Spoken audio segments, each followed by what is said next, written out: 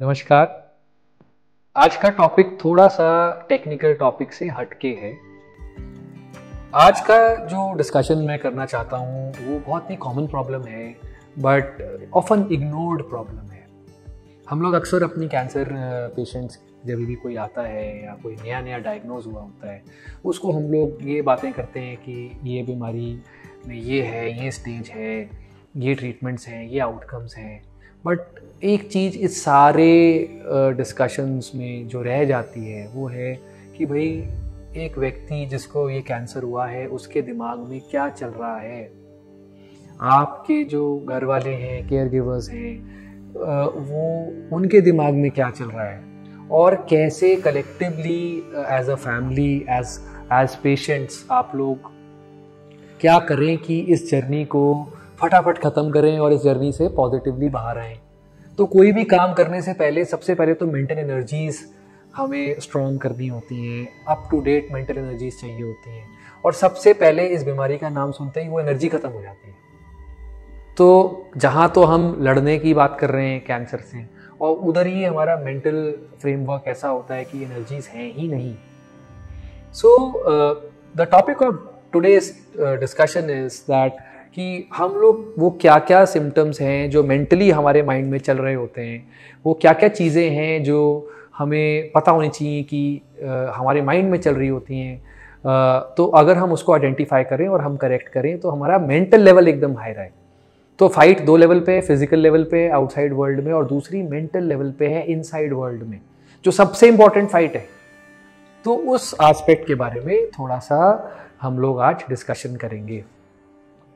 तो सबसे पहला जो emotion the moment somebody is diagnosed with this word cancer is shock and denial absolute state of panic होता है फैमिली मेंबर्स में पेशेंट्स में और ये हंड्रेड परसेंट एक्सेप्टेबल इमोशन है। क्योंकि एक इतना बड़ा वर्ड है ये कि हम लोग सबसे पहले शॉक में आ जाते हैं और डिनाइल में आ जाते हैं कि ये तो है ही नहीं। तो शॉक और डिनाइल की stage while it is understandable and 90 percent to 99 percent patients फिर uh, इसमें से बाहर आते हैं और आगे जाते हैं बट कुछ एक से दस परसेंट पेशेंट्स ऐसे होते हैं जो इसी में फंस जाते हैं। अगला कदम ही नहीं लेते there is something called as analysis paralysis या तो उसमें फंस जाते हैं या डिनाइल इतना स्ट्रांग होता है कि वो सारी रिपोर्ट्स उठा के फेंक देते हैं and they carry on with their lifes uh, as if nothing has happened or they are in absolute के जब तकलीफ़ आएगी तब देखेंगे।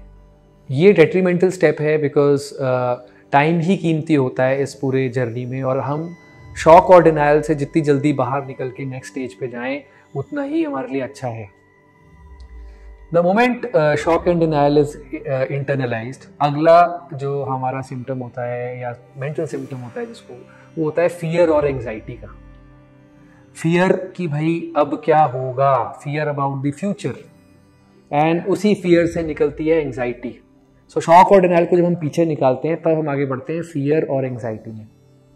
फियर और anxiety is again about unknown because future is unknown तो उस अननोन को क्लियर करने के लिए सबसे इंपॉर्टेंट स्टेप इस वक्त जो होता है, वो होता है knowledge knowledge from correct sources information from correct sources and authentic sources.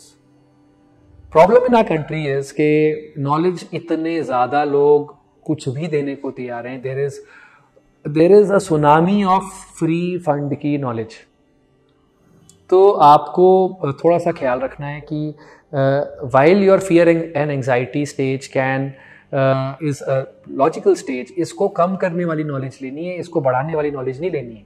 लोग कई बार नॉलेज के नाम पे कुछ भी डर को बढ़ावा दे रहे होते हैं which pushes you back to shock and denial stage one पे। करेक्ट नॉलेज वो है जो आपको आगे का रास्ता सही सही दिखाए और कहीं ना कहीं हमारी मेंटल एनर्जीज को ऊपर लेके आए। Once we have internalize stage two कि ठीक है फियर एंड एंगजाइटी नॉलेज भी ले रहे हैं, कर रहे हैं सब कुछ। अगले दो सिम्टम थोड़े कॉन्ट्रडिक्टरी होते हैं। पहला सिम्टम होता है सैडनेस और ग्रीफ का। सैडनेस और दुख का कि ये क्यों होता है? अगर हमें ये पता हो, ये क्यों होता है तो हम इसको कहीं ना कहीं ओवरकम कर सकते हैं। ये होता है एक प्रॉब्लम ऑफ़ कंपैरिजन से। हम लोग अपनी नॉर्मल दिनचर्या को कंपेयर करते हैं, अपनी प्रेजेंट दिनचर्या से और सोचते हैं कि भाई पहले हम वैसे थे, हम कहाँ फंस गए। दुख कि दूसरे, दूसरों से कंपैरिजन की वो ठीक है, हमें प्रॉब्लम है। और साथ ही में anger anger is why me अरे बाकी सब तो ठीक थे, मुझे ही क्यों हो गया? और इन सैडनेस ग्रीफ और एंगर की वजह से दिमाग दसों दिशाओं में दौड़ता है। कुछ भी कारण एट्रीब्यूट करने पे हम आ जाते हैं कि ये हुआ था, वो हुआ था but again the point is के वी शुड आइडेंटिफाई कि सैडनेस ग्रीफ एंगर हमारे माइंड में चल रहा है। और कई बार ये सारे मिक्सड होते हैं। Shock denial fear anxiety sadness grief anger एक के बाद एक के बाद एक या सीक्वेंस में चल रहे होते हैं। बट द पर्पस इज़ कि हमें पता होना चाहिए कि हाँ ये चल रहा है। फिर एक सिम्टम होता है मेंटल uh, सिम्टम की जिसको बोलते हैं uh, कि यू you नो know, कि मेरी मैं तो बोझ हूँ फैमिली पे। ये भी एक पेशेंट के दिमाग में बहुत बड़ा सिम्टम होता है। घर वालों को नहीं लग रहा होता। घर वाले तो पूरा ज़ोर लगाए हुए हैं, जान, जी जान लगाए हुए हैं पेशेंट पे। बट फैमिली मेंबर्स को पता होना चाहिए कि ये भी एक कैंसर पेशेंट के दिमाग में चल सकता है कि भाई I am a burden I am a liability सब लोग काम छोड़ के मेरे ऊपर ही ध्यान दिए हुए इसके अलावा एक थॉट प्रोसेस जो फैमिली मेंबर्स और पेशेंट्स के माइंड में आ सकता है, वो है हेल्पलेसनेस का। कि भाई कोई हेल्प ही नहीं है। क्या होगा? कैसे होगा? कहाँ जाएँगे? कैसे जा, करेंगे? अगेन इसका तो इलाज इंफॉर्मेशन ही है। Information from the correct sources information from videos like this information of experts ताकि हमारा हेल्पलेसनेस का एक जो प्रॉब्लम है वो ख़त्म हो। एक यूनिक सिम्टम्स काफ़ी फैमिलीज़ में होता है। वो है कि एंजाइटी अबाउट खर्चा फाइनेंशियल बर्डन्स जिन लोगों की एडिक्वेट टी पी एज हैं इंश्योरेंसेज हैं, उनको ये प्रॉब्लम नहीं है. बट टी पी और इंश्योरेंस हार्डली दस परसेंट से पंद्रह परसेंट पेशेंट्स की होती है. Eighty two eighty five percent patients also have anxiety about finances so ये बताने का पर्पस क्या था? बताने का पर्पस ये था कि, भाई, पहले तो हमें पता तो हो कि हमारी मेंटल एनर्जी कम क्यों है. और इसका अगर निवारण हो जाए तो हमारी मेंटल एनर्जीज फिर पॉजिटिव कैसे होती हैं? The moment we overcome these negative state of minds जो हमारी पॉजिटिव स्टेट ऑफ़ माइंड है, वो है विल पावर रेजिलियंस एक एक फीलिंग कि मैं ठीक हो जाऊँगा और ये सब ठीक है I I I can do this the moment a person comes in this frame of mind the journey start very fast और फैमिली मेंबर्स का एक ही काम है। अपनी भी और मोर इम्पॉर्टेंटली वो व्यक्ति जिसको ये तकलीफ़ है, उसको framework positive frame of mind में लाना है। तो हम क्या कर सकते हैं कि वो नेगेटिविटी को दूर करके पॉजिटिविटी में लाएँ? कुछ एक, दो, चार स्टेप्स बड़े सिंपल हैं। सबसे पहला जो निवारण है इस नेगेटिविटी का, वो बहुत ही सिंपल सदियों से चला आ रहा है, वो है feeling of love all the family members पास हों दूर हों सो मेनी टाइम्स कहीं और होते हैं। uh, मैं यही रिक्वेस्ट uh, करूँगा please start expressing your love love का एक्सप्रेशन कैसे कर सकते हैं हम? पहले तो by a feeling of being there कि हम हैं आपके साथ। ज़रूरी नहीं है कि कुछ करना हो आप आके बैठ जाओ पास हाथ पकड़ लो। Just a feeling of being there अगर आप एक ही घर में हैं तो फिर तो बीइंग देयर है ही। कई बार लोग बच्चे बाहर होते हैं पेरेंट्स बाहर होते हैं।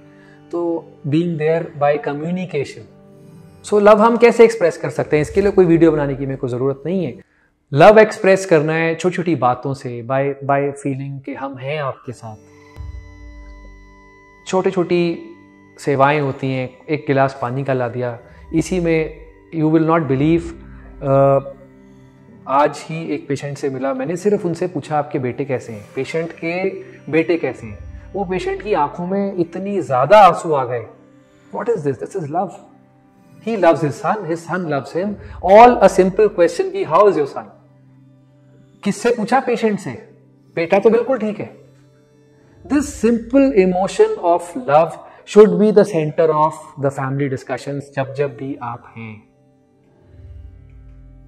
फिर जो मैंने आपको पहले नेगेटिव सिम्टम्स बताए थे शॉक डिनायल एंजाइटी फियर ये सारे के सारे आपको कायदे से डिस्कस करनी चाहिए कि पापा, आपको ये तो नहीं हो रहा, मम्मी, आपको डिनाइल तो नहीं है। And please start writing them jotting them down the moment we express a negative symptom 90 percent उसकी पावर तो वहीं निकल जाती है।